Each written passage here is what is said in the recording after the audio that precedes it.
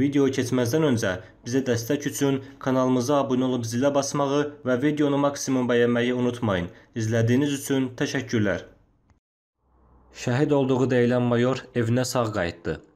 44 günlük Vətən müharibəsində tarix yazanlardan biri də mayor Xəyyam Əliyevdir. Son xəbər.azın Xəzər xəbər.aza istinadən məlumatına görə Füzuli istiqamətində gedən qızğın döyüşlərdə mayor Xəyyam Əliyevin komandiri olduğu mot atıcı tabor düşmənə ağır zərbələr vuraraq iki keçilməz istehkamı qısa vaxt ərzində düşməndən təmizləyir.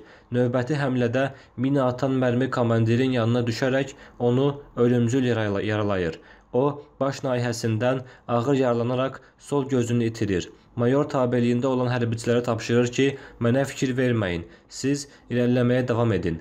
Sonradan düşən mərmilər isə onun üstünü torpaqla örtür. O yaralandıqdan sonra şəhid olduğu xəbəri yayılır. Artıq Qazaxda yaşadığı ünvanda hər kəs onun nəşini, onun nəşini gözləyir, hazırlıq görürdü.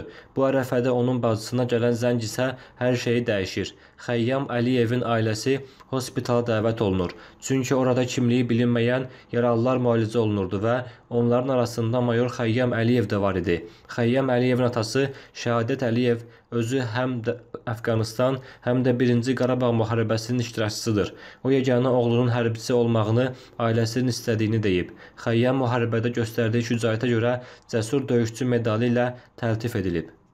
Mənbə sonxəbər.az